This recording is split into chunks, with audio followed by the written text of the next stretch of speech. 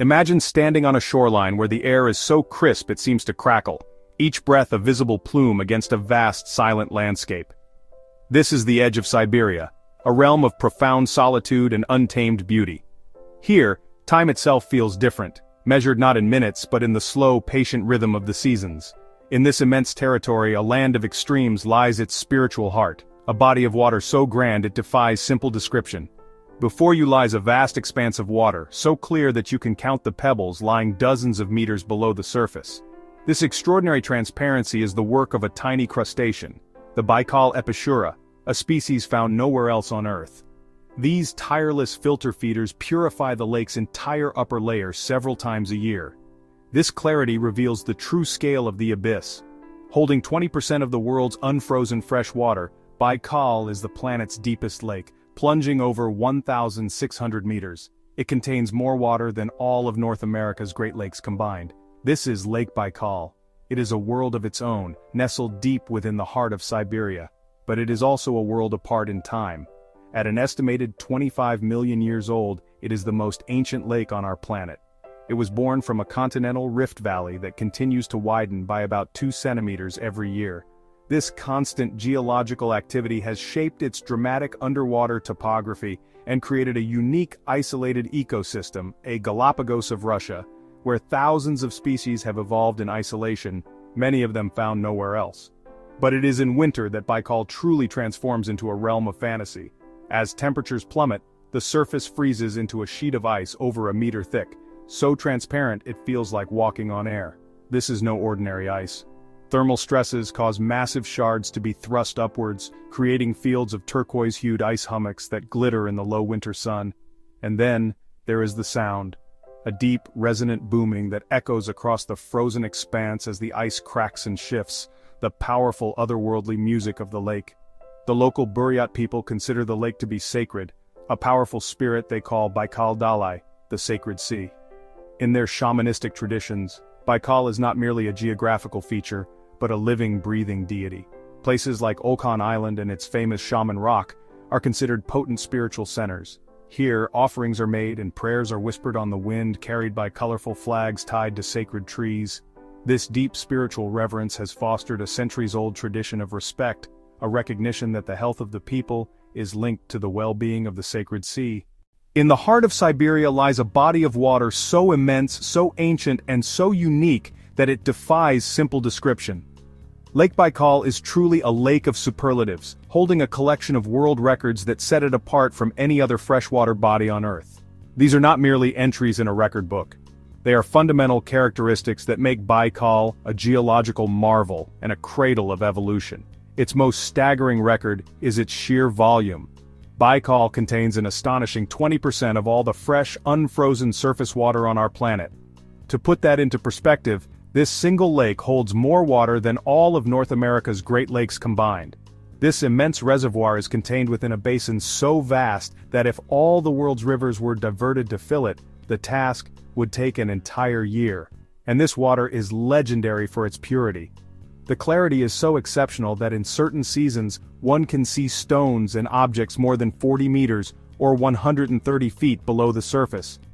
This incredible transparency is maintained by a tiny endemic crustacean, the Baikal epischura, millions of which act as a tireless living filter, consuming algae and bacteria.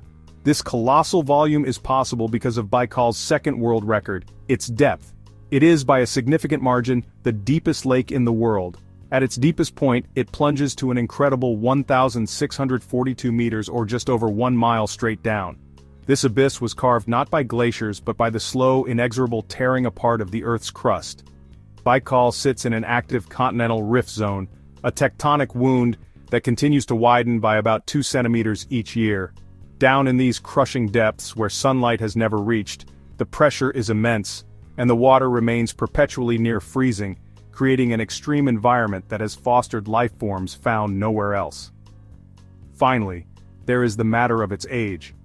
While most of the world's lakes are geological infants, mere tens of thousands of years old, geologists estimate Baikal's age to be between 25 and 30 million years old, making it the most ancient lake on Earth. This unparalleled longevity, combined with its profound isolation, has allowed evolution to follow a unique and uninterrupted path. For millions of years life within Baikal has adapted and diversified, turning the lake into a natural laboratory, often called the Galapagos of Russia. This ancient heritage is why over 80% of its more than 2,500 animal species are endemic, meaning they are found nowhere else on the planet. The story of Lake Baikal's creation is a dramatic geological tale. Instead, Baikal is a rift lake.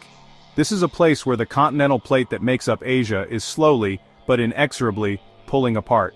Some geologists believe that the Baikal Rift is an embryonic ocean. Siberia could be split apart, and a new sea would be born. One of Lake Baikal's most enchanting residents is the Baikal seal, or Nerpa. It is a true seal, yet it lives exclusively in fresh water. Using the strong claws on their front flippers, they maintain breathing holes in the ice throughout the long winter. The pups are born with a coat of fluffy white fur, providing camouflage against the harsh Siberian cold. Deep within the cold, dark waters swims a fish unlike any other on Earth. It is called the Golomyanka, and its body is translucent, almost transparent. This high-fat content makes the fish buoyant, allowing it to live throughout the entire water column. Unlike most fish, which lay eggs, the Golomianka gives birth to live young. A single female can produce 2 to 3,000 tiny larvae. Below the surface, the lake floor is home to vast underwater forests and gardens of freshwater sponges. They are tireless filter feeders, constantly drawing water through their porous bodies, contributing significantly to the lake's legendary clarity. Within these sponge forests over 350 species of amphipods scuttle among the branches, almost all found nowhere else on Earth. A place as ancient as Lake Baikal is naturally steeped in myth and legend. Shaman Rock is considered the home of a powerful deity. Strange phenomena like enormous perfectly formed dark circles on the winter ice have given rise to fantastic tales. But this pristine sanctuary is deceptively fragile. Despite its immense size and remote location, Lake Baikal is facing a confluence of modern threats that endanger its very essence. For decades the legacy of industrial pollution, most notoriously from a massive paper and pulp mill on its southern shore, leached toxic dioxins into its waters. Today, new dangers have emerged. Agricultural runoff from surrounding farms feeds vast, unnatural blooms of Spirogyra algae, choking the shoreline and disrupting the delicate ecosystem. Microplastics, the insidious confetti of our disposable world, now contaminate even these remote waters. Looming over all of this is the specter of climate change. Baikal's winters are growing shorter, its legendary ice cover thinning and receding. This is a catastrophe for endemic species like the Baikal seal, or Nerpa, which depends entirely on stable ice caves to give birth and raise its pups. Unregulated tourism development also scars the landscape, straining resources and threatening the very wildness that draws people here. This precious world is in peril, standing at a critical crossroads between preservation and irreversible loss. Yet in the face of these challenges, there is a powerful current of hope. The story of the Baikal paper and pulp mill is a testament to the power of collective action. After years of relentless campaigning by scientists, activists and ordinary citizens who refused to stay silent, the mill was finally closed in 2013. This landmark victory proved that positive change is not just possible, but achievable when people unite to speak for nature. Today the fight continues.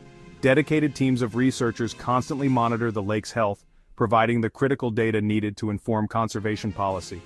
Its designation as a UNESCO World Heritage Site provides a layer of international protection, focusing global attention on its plight. Grassroots movements organize massive volunteer efforts to clean the shores, removing tons of waste each year, demonstrating a profound hands-on commitment to healing the lake. Lake Baikal is so much more than a body of water, it is a planetary treasure. Holding one-fifth of the world's unfrozen freshwater, its volume is legendary, but its true value lies in its unparalleled purity and unique life. It is a living museum of evolution, a natural laboratory that has been isolated for 25 million years. Here, life has charted its own extraordinary course, giving rise to over 2,000 species found nowhere else on Earth. From the ghostly translucent Golomianka fish that dissolves into a pool of oil when it dies, to the countless species of tiny Gammarus crustaceans that act as a tireless biological filtration system keeping the water crystal clear. For the indigenous Buryat people, Baikal is not a resource, but a living, breathing deity, the sacred sea. Their shamanistic traditions are deeply interwoven with the lake, its islands like Olkhon considered powerful spiritual centers, places where the human world touches the divine. The fate of Lake Baikal is therefore a reflection of our own. Its challenges mirror the global environmental crisis, and its preservation is a test of our collective will. Safeguarding this sacred Siberian sea requires more than just admiration, it demands a conscious, global partnership. It means supporting the science that guides us, championing policies that protect, fostering a tourism that respects, and honoring the ancestral wisdom of the communities who have been its guardians for centuries. By working together, we affirm our commitment not just to Baikal, but to all the wild places that nourish and inspire the human spirit. The soul of Siberia, ancient and profound, is calling on us to be its defenders. For the sake of our planet and for generations yet to come, we must answer.